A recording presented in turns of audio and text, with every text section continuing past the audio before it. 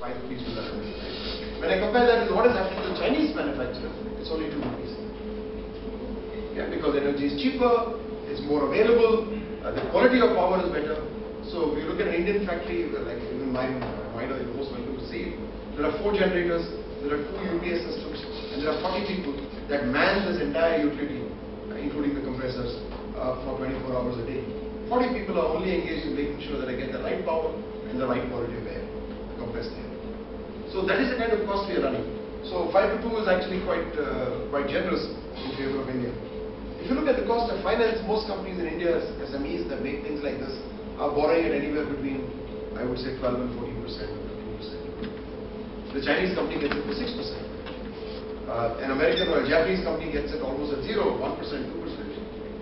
So obviously the cost of finance is a huge bad thing. So if in India it's 5 rupees, in China I'm just saying it's 2.5, maybe it's 2.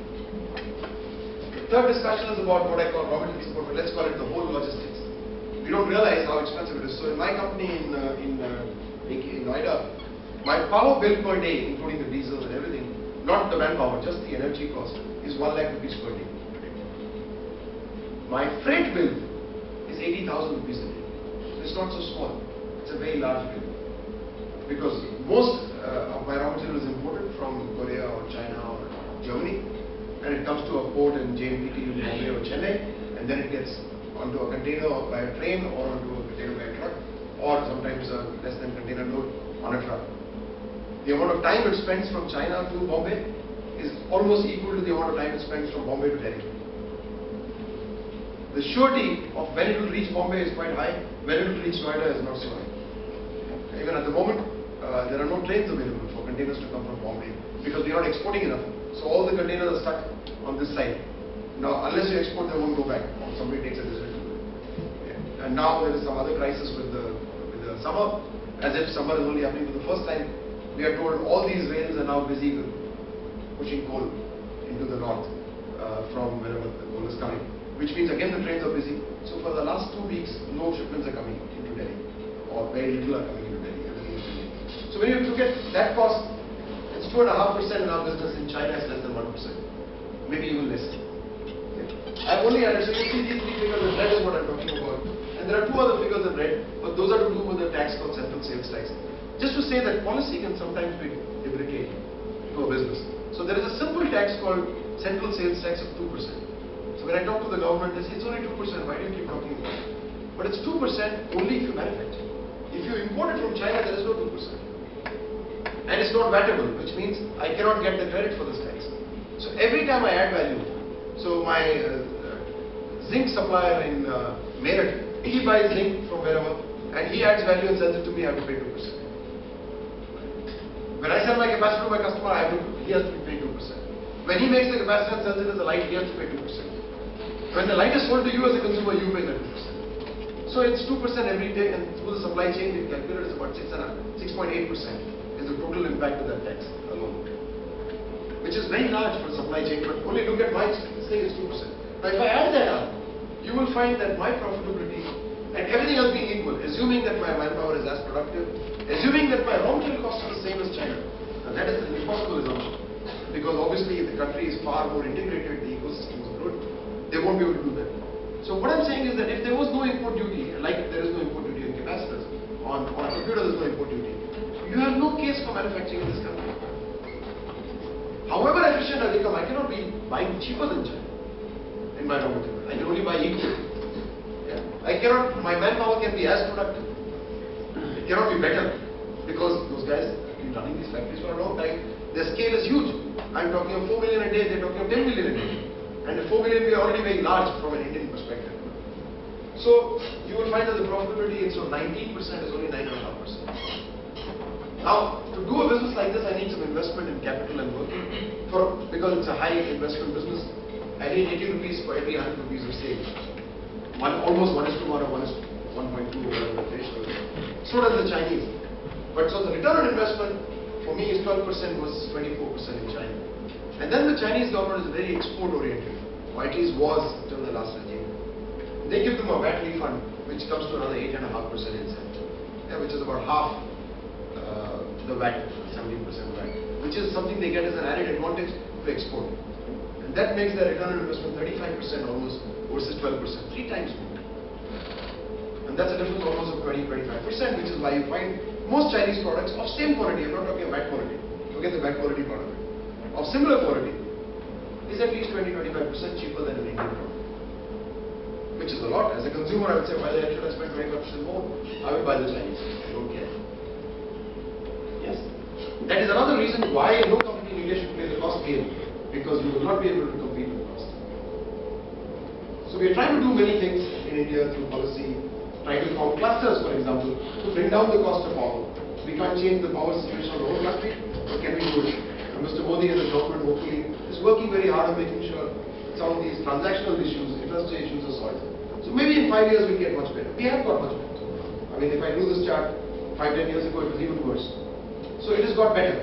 But suffice to say that there is a huge gap which doesn't let us play the cost game very much. We can only play a value game. We have to convince our customers by giving them more than just the product that they expect or just the service they expect. And which is why we are becoming a service economy. Because manufacturing only is coming it. I was sharing with Professor Ashra the same thing. Would my children want to get into manufacturing? They don't. They would rather open a restaurant or join Citibank or sell sugar water or Coke or Pepsi. My apologies to them. Because those are high paying jobs. Those are the ones if you can convince me to, to buy more sugar water so that I get killed faster, you would get the highest money in the world. But if you start doing manufacturing, this is dirty work. You have to come into my factory, roll up your sleeves, and start repairing a machine. You know, or drive something towards higher productivity on a daily basis. That's not easy. This is not easy, but this is what makes a country, in my opinion. So, not that I chose this, as I said at the beginning, but now that I'm in it, I feel that this is extremely important for me, for a country, for several reasons. So we need to also look at areas like this. Services are tertiary, good, please make money out of services. But if everybody in the whole country dreams of making another Facebook or Flipkart and sees that that is the only way to become rich, we're not going too far as a country. We, can, you probably are very far as a person. Yeah, so that is the other reason why I always feel that value is extremely important. So now talking of value, a friend of mine, Hans, who is my uh, co-author of this book called Value Magics, and who I work very closely with in my consulting job, my training job. Uh, we have also the website, it's also a book now. It's called the Magic Palette, because a palette is what you export, you use to export, and magic because you can create magic with these palettes that.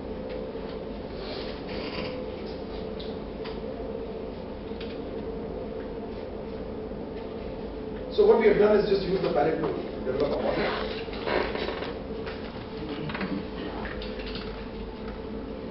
So, as a life, there is always a consumer, that is why any business comes in.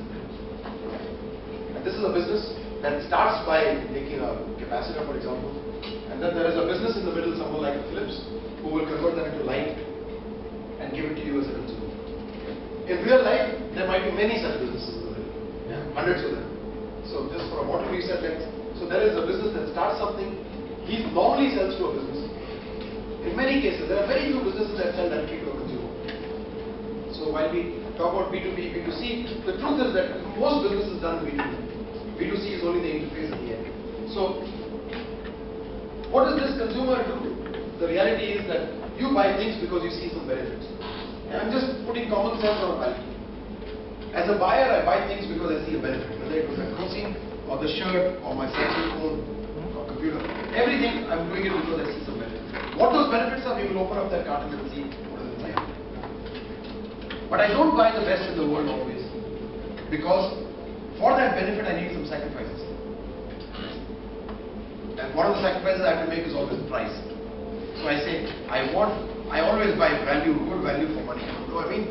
I'm buying the maximum amount of benefits available at the price point at which I'm comfortable. But actually, in real life, we make more sacrifices than only money. The price is not the only thing that we are paying. There is more. Yeah? So that is the sacrifices. So I am, I will, as a consumer, decide to buy, or your wife will buy, your spouse will buy something. As long as you see that the amount of sacrifices you're making is equal to or somewhere close to the benefits. If I am making a large amount of sacrifice and the benefit is less, I will not make that purchase. Right? So we understand why this guy buys. And now based on this, what I need to do here is either increase the benefit or reduce the sacrifice. When we play the cost game, we are only working on this one. We are saying reduce the sacrifice compared to the competitor. I'm not even bothered about the consumer. Right? And I'm not bothered so much about the benefit because benefit has to go to the consumer. So that is the life of a consumer. Now look at the life of someone like me, a manufacturer or producer of any service also this will apply to. I have only two realities in mind. I have something called the cost of means.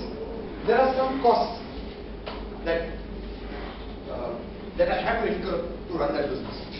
It's the cost of my material, the cost of the manpower, the cost of uh, uh, you know the money that I borrow to run a business like this or, or I put myself in the business. So there are some costs, and these costs are what I call comparative resources. Why? Because they differ from one country to the other.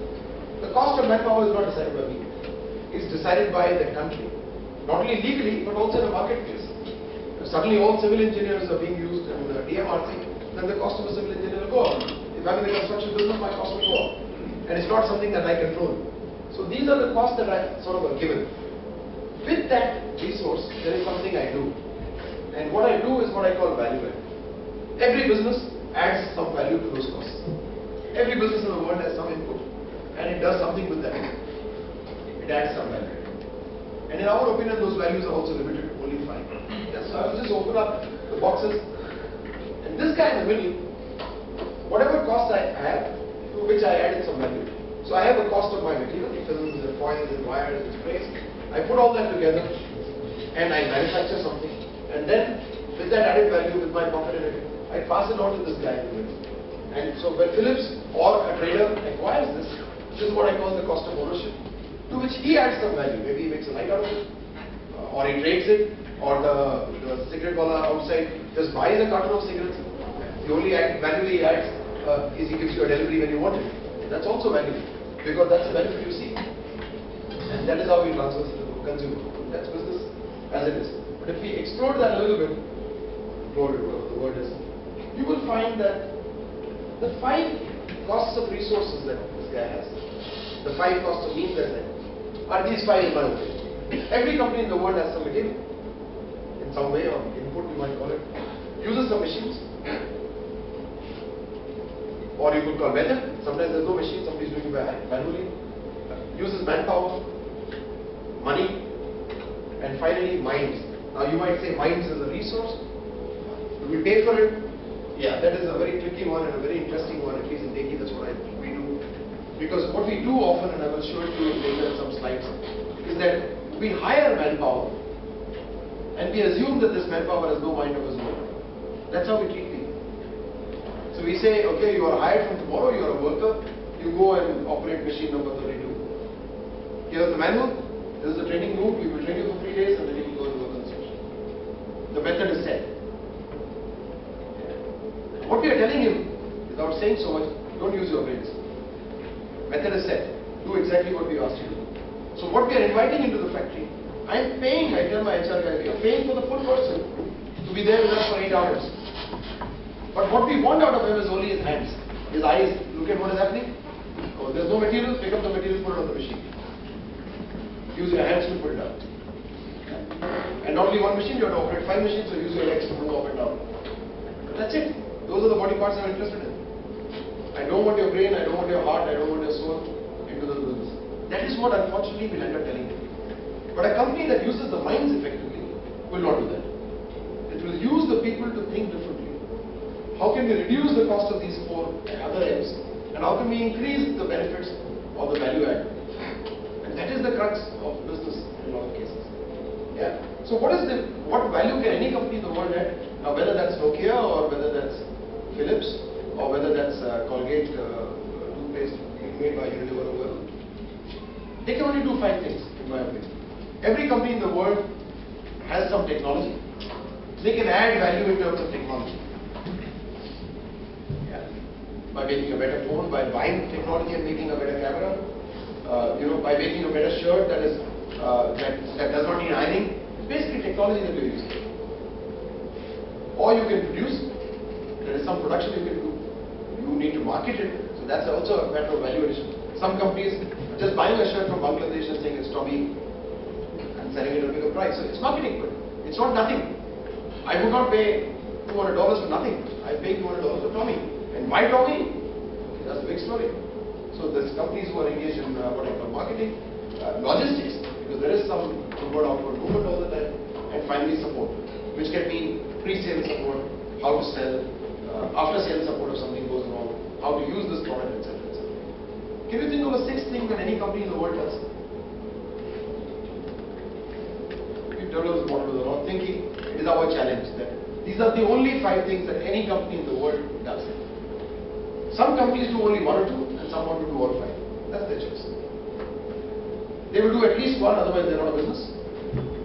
So, uh, if you look at uh, even uh, Anwala outside, he's doing only one, which is logistics. He doesn't market, he doesn't put a brand outside there.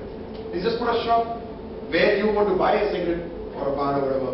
And so he's doing only logistics in that case. Yeah.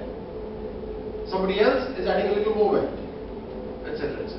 So if you look at a garment uh, manufacturer in Gurgaon or in Bangladesh or in Noida, maybe he says, no, no, the design is not mine. I don't design it.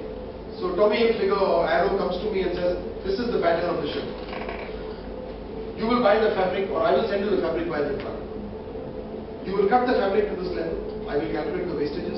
You will stitch it like this. I will send you the buttons from a Chinese factory. I will do it. That's the lowest form of business from a manufacturing end. What we call a CTC, cut, trim, cut, uh, whatever the word is. Yeah. Basically, I'm being paid by labor rate. So I'm using these five things, but I'm only claiming only production is my only job. Even logistics, somebody else is doing because the truck is coming to you. Maybe a little later he'll say, okay, I like you, you're a good company, you work for one year. You know what? Hereafter, I would also want you to handle logistics. I will give you the names of the supplier of the fabric and the buttons. You call them up, place a purchase order with them, you buy it with your money, right? And then give me the finished product, and I will pay you for product. That's like slightly more value added. So along with production, now I also start doing some logistics. But a little later, I might say, you know, Mr. Tommy, we've been working with you for 10 years now, but I also have some in-house designers. Some Indian designers are very good. Would you like to see some shirts that we have designed? And the designer from Tommy might say, hey, this one is interesting. Can I get that? I want exclusive rights to it. We'll do it only for you. But I will charge you a little more now. Yeah. So I'm also now getting into the technology phase. Some kind of designing I'm beginning. Or I introduce a new fabric. This is pure, natural cotton, organic cotton coming out of the fields of Madhya Pradesh or whatever. So maybe this guy starts buying and gets interested. It could be designed from any level of technology. But I might also say, my brother says, you know, while you're doing all this business, why don't I start our own brand on this side? Because it's not in contravention of what we do with Tommy. Fair enough. So we make our own dinky shirts or whatever. Put another brand on it. Start doing my own advertising, my own branding. Nothing stops me. I become also a marketing company, at least for part of my business. And of course, all businesses have some sort of support. So I could choose as a business to add value in one of these elements, in all of them, or in a combination of them. Yes, that is for me to decide as a company. So as Deki, we decided we do all. Somebody else might say, so Deki had an offer from Philips long back, many uh, years ago, when my father-in-law decided to invite me. So Philips said, here's the deal. We will buy every single piece you make. But Deki will not be a brand anymore. They will all be called Philips capacitors. It's not your problem. Unfortunately, he had the good sense to say, no, I don't want to get rid of this. So they asked him, why won't you? Because you are not making enough money at the moment. You'll make more money. He said, no, because I left my job because I wanted to be master of my own enterprise. When I start supporting you 100%, I become your slave. That's what his word was. I completely agree. But it's how you, what your reason to be in business is. He decided not to do it. Fortunately, we, we did much better. Some companies decide to do only that. They say, okay, we'll make it and give it to you as a brand. Making is our job, the rest is yours. But obviously, in that case, uh, you don't see this consumer at all. Right?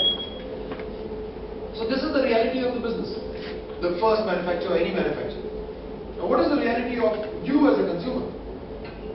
Okay, let's look at that. So we said you buy something because of a benefit. Right? What benefits? We all know, somebody talked about quality earlier, right? So the far end here, we know that we buy things because of quality. Even this bottle of water, I'm picking it up, I see Bisleri, I see it looks nice.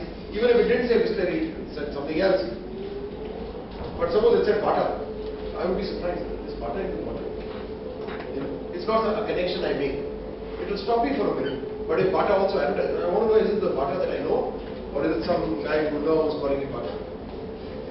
It's not the Bata I know because I don't make uh, Bata make shoes, they don't make water. I don't like the association of shoes and water. But more I realize this Bata looks a little fake to me. When I appeal Bisleri name, that would be my next reaction. Because as a benefit, I don't associate quality with what I see. So I'm not going to check quality from a water quality perspective. I'm not looking for a certificate of what ppm residue does it have. Yeah. But I also buy things for design. I like this shirt. All shirts that uh, the brands I buy are very similar quality, so I have no problem with quality. But I like the design, so that's the other reason why I would buy something. I would choose one over the other. But I also choose it because of speed. Like I said, in the case of the medicine, but not only the medicine. Now there's a lot of online shopping. Yeah. You like something and you say, okay, I want to buy this. Oh, but it's going to come after three days. Can you not deliver it in one day?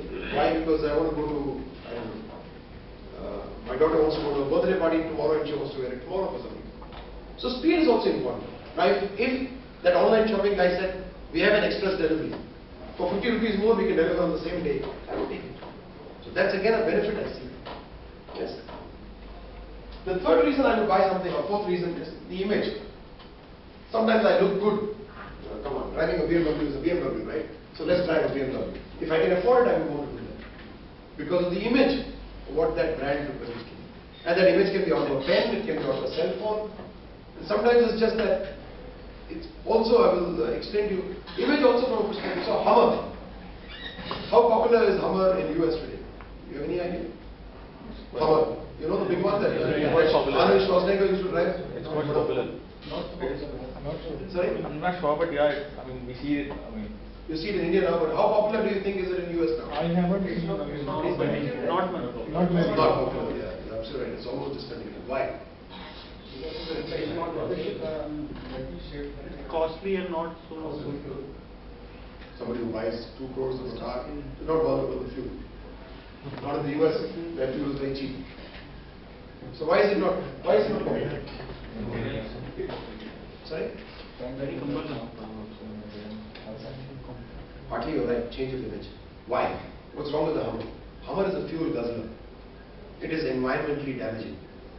It is environmentally irresponsible. If something else can drive me 10 kilometers in a liter, this damn thing drives me 1 kilometer in a liter. So what kind of an image am I creating of being an irresponsible citizen? My footprint, carbon footprint is too big. Now in India that's not such a big image problem. In the US it's becoming a big problem. All the Hollywood stars have no, no anymore. Out of my garage. Nobody wants to be seen with a Hummer. Yeah. What is the image of a uh, of a guy driving Tata Safari, for example, with those big headlights on the top, you know, those floodlights in Gurgaon? You say this bugger is some zamindar ka beta hai. He's just sold his land and he's got himself into. Correct?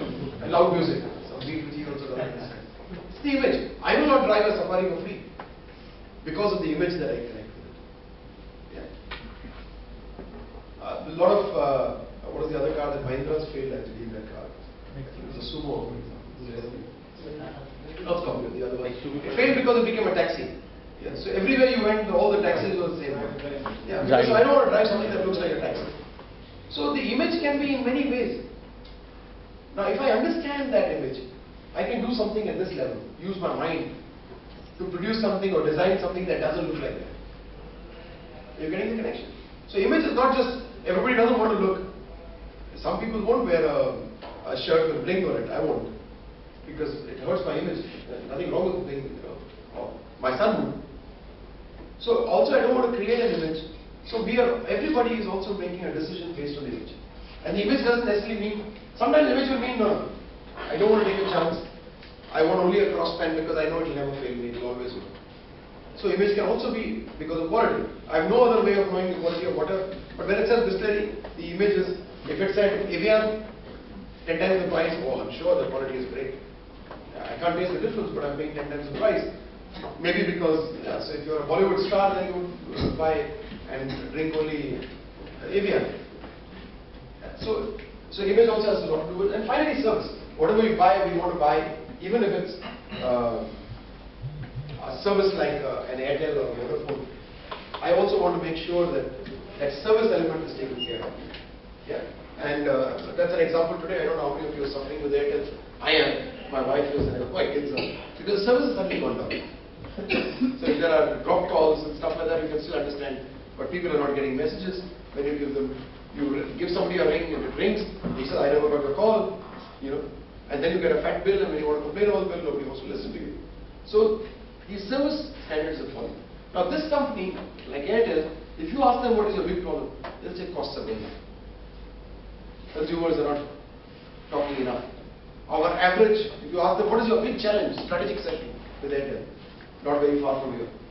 I know them a little bit, some of them. And their big strategic session is how do we increase the average, what, what is the average called? Uh, uh, Average realization per person, so they've got a fancy term for it. It's like a hotel room, yeah, so average realization per room used to have ARR. They've also got something like that, ARP. So they are looking for that. In my opinion, you are doing the wrong thing. You're not realizing why people are leaving you. You're not realizing why. They may not be leaving you today because again, value also is competitive. So I say, I want to, I want to throw this phone away. I want to go to Vodafone. Maybe I meet somebody who says, hey, don't do that because Vodafone is worse. You know, so I don't do it. It's not that Airtel is good. So if people are beginning to take their eye off the ball, as I say in this business, it is because they're not looking at the benefits of why somebody buys something. It's basic common sense what we put there. But we don't go into those details of saying, why is it that, what are the benefits for a solution? Okay, benefits are clear, but I don't buy the best always, like I rightly said, because I have some sacrifices to make for every benefit I want. And the biggest sacrifice we know is in terms of price. Yeah. So that's why I give it the largest space. But that's not the only one, as in the case of the Hummer. Guy, uh, Schwarzenegger has no problem with money, but he has a problem with image. And image, while it's a benefit, he says, no, no, I'm making a sacrifice in terms of the planet. Every time I use a bottle bottle like this, I'm throwing away this plastic, I have an impact on the environment. So I would like uh, to make less of an impact. Can I not get a bigger bottle for my house? This is a nice one. But now in airlines, they all serve you these small ones because nobody wants to, to serve you all the time. So once set bottles. Can you imagine the kind of environmental damage that's happening because of that? Yeah. Or McDonald's. I think that burger has uh, is only smells damage to me because in terms of packaging, in terms of the ketchup and the chili sauce and the mustard or whatever it is, and the, the number of tissues you get and then the fi- final packing you get, it's a huge disaster. Forget what it does to your health, but it also is a disaster in terms. But we are all embracing that. Someday that image will change, and maybe our kids will say, no, no, no. Can I get something without the packing? And we are beginning to do that now. In many places we say, no, no, shopping bag. I'll carry my own shopping bag. So we are getting a little more, but it's not come to an image scene. In some countries, Scandinavian countries I know, that you will be, everybody will frown upon you if you carry a plastic bag. Yeah. In uh, Starbucks, for example, you will see there is organic coffee, but there is also responsible coffee. You can look at the labels sometimes. Yeah. And in US, at least in many other countries in Europe, they are selling, they are selling some coffee more expensive than that. Be a responsible citizen, buy a responsible coffee. What do you mean by responsible coffee? Well, this is the coffee where we have fair trade coffee. We have made sure that the coffee farmer is getting fair wages, that he does not use child labor, that there is no slavery being done, no labor being used. Oh, now I'm a more satisfied. But till yesterday I didn't bother about this. Now when I see fair trade, it's a fashion statement today. Ten years down the line, it will be hundred percent statement. If you're not trade, you cannot sell cotton. So a lot of things come from the image of, because some people are beginning to feel that planet, so there is, yes. Uh, about this fair trade coffee, uh, don't you think this is more of a marketing gimmick rather than basically, is, uh, there is some research analyzed this issue. They found that fair trade, whatever you call fair trade, basically you give the farmer maybe 10% more, but you double the price of the coffee. So you're actually, in the, in the sense, you're possibly creating a value, but actually, but you're creating, creating a profit. rather You're than- right, you're right. But yeah, from an economist perspective, I mean, I'm sure you would say, if it's free market economics, someday the benefit and sacrifice will will settle. You're right. Today, why should I pay double, you know, for example, for that coffee? You're only doing what you were supposed to do. But for it to come to that stage, everybody else will become like Starbucks. When everybody starts selling, today, Starbucks is using this as a, so like I said, value can only be created in two ways. It will always be created at the customer end. And it can only be created either increase the benefit to the customer or lower the sacrifice in mind. Those are only two ways that we can do it. Yeah?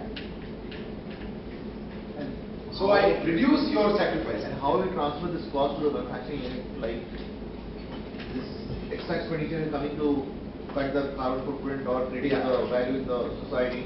How we transfer this cost to manufacturing, like they have to produce a, they have to produce some product in a safe, safe way, like Yeah. not emit, uh, Not necessarily, yes, okay. So two things can happen because of that. Either my cost can come down or go up, if It it's like said in this case. It will go Or, or I can do something smarter in my technology of production.